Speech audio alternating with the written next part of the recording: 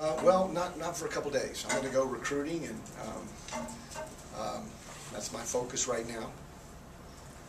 And we'll have player meetings in a couple days and we're losing a, a pretty special little guy, Clevin Hannah. But that's it, that's all we lose.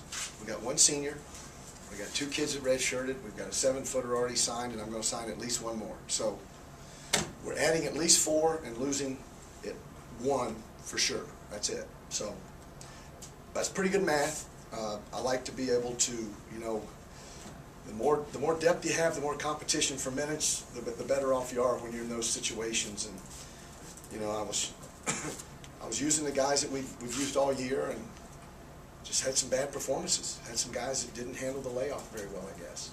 And he, he committed to Ohio State, and uh, for some reason he decided the grass wasn't greener, and, and he decided to stay at Nevada. And he's had a pretty special career. He's the guy, and you know, had 23 in points tonight. Played 40 minutes. He's advancing in the NIT. I think they went to the NCAA last year, and uh, he'll be an NBA guy. So I hope he's enjoyed his career. He's a good player, good competitor, hard to guard.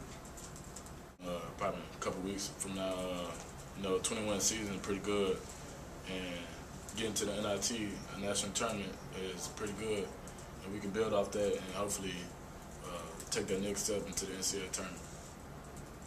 JT, do you feel like Yeah, I am definitely. I wish I had at least one more year to come back and, and play for this program, but it's all over. My all my eligibility gone, and I wish uh, I could just do it all over again. My two years went by like that, went by too fast for me. Wish I could just had it back.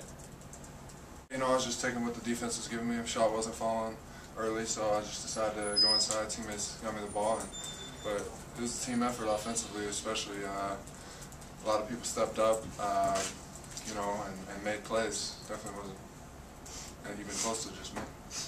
Oh, we really uh, fought hard. Uh, Wichita State's a very good team. They had a 17-0 at home, so we knew we had to play very, very hard and play smart, and I thought we did that for the most part.